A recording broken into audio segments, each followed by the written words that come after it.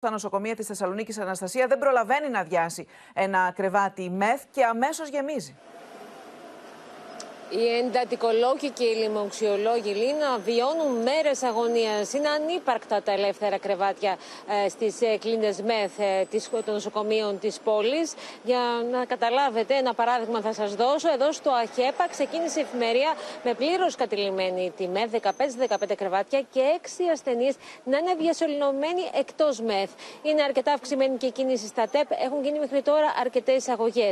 Το πρόβλημα, όπως μου εξηγούν οι γιατροί, είναι ότι οι ασθενείς ανεμβολίασαν εμβολίαστοι περισσότεροι. Φτάνουν στα νοσοκομεία την τελευταία στιγμή με πολύ χαμηλό κορεσμό σε σοβαρή κατάσταση. Χαρακτηριστικό παράδειγμα, ένας άνδρας περίπου 40 ετών χθες βρέθηκε στα επίγοντα του νοσοκομείου Παπα-Νικολάου ε, σε τόσο άσχημη κατάσταση που αναγκάστηκαν οι γιατροί να το διασωληνώσουν εκεί, στα ΤΕΠ. Δεν υπάρχει Αμέσως μόλις έφτασε λοιπόν έγινε η διασωληνώση. Ακριβώς, ούτε ακριβώ ούτε στον Παπα-Νικολάου.